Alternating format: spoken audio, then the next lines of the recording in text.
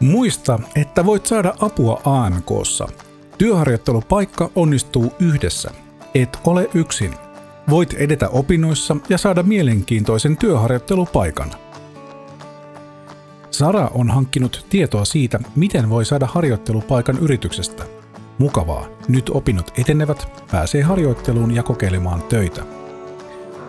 Aluksi Sara yritti hakea töitä itse, mutta nyt opettaja auttaa. Yhdessä on helpompaa. Ensin Sara ja Terttu puhuvat siitä, mitä Sara on opiskellut ja mitä harjoittelussa täytyy osata. Terttu on Saran ohjaava opettaja. Sitten tehdään harjoittelusuunnitelma. Mitä Sara osaa, mikä Saraa kiinnostaa ja mitä harjoittelupaikkoja on olemassa. Mielenkiintoinen yritys löytyy. Sitten katsotaan yhdessä paperit, joilla työtä haetaan. Lopuksi kalenteri esiin ja mietitään, milloin harjoittelu tapahtuu. Hyvin jännittävää, molemmilla on hauskaa. Sara ja Terttu hankkivat tietoa siitä, miten voi ottaa yhteyttä työnantajaan. Sara laittaa viestin sähköpostilla.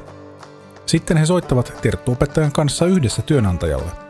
Viikon päästä Sara saa sähköpostia. Harjoittelupaikka onnistuu. Työharjoittelusta tehdään harjoittelusopimus. Terttu neuvoo ja tarkistaa sopimuksen. Oikein hyvä ja mukavaa harjoittelua, Sara. Työpaikassa on mahtavaa. Teppo on pomo ja neuvoo kaikissa töissä. Tehdään töitä yhdessä. Sara voi kysellä ja oppia rauhassa. Työpaikassa on myös kivat työkaverit. Suunnitellaan yhdessä juhlia ja tauoilla nauretaan kunnolla.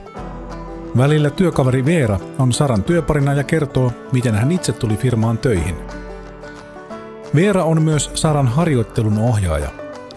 Sara ja Veera keskustelevat töistä, Veera neuvoo ja keskustellaan mitkä asiat sujuvat hyvin ja mitä tukea Sara tarvitsee.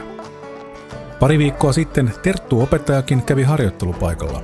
Sovittiin, että Veera laittaa viestiä siitä, miten työharjoittelussa menee. Hyvä meininki. Sara on oppinut paljon, esimerkiksi miten merkitään työtunnit ylös. Tärkeä taito kaikissa töissä – Aika on mennyt työharjoittelussa todella nopeasti. Harjoittelun lopuksi pidetään yhteinen palautetilaisuus. Siellä laaditaan myös raportti. Mitä Sara oppi, menikö kaikki niin kuin oli suunniteltu ja mitä jatkossa tapahtuu. Paikalla ovat Sara, Terttuopettaja, Teppo Pomo ja työkaveri Veera. Sara on ollut ahkera harjoittelija ja harjoittelu merkataan Saran ansioluetteloon. Lopuksi Teppo Pomo ehdottaa Saralle kesätyöpaikkaa firmasta. Loistavia uutisia, Sara. Kysy lisätietoja ja neuvoja ohjaavalta opettajaltasi.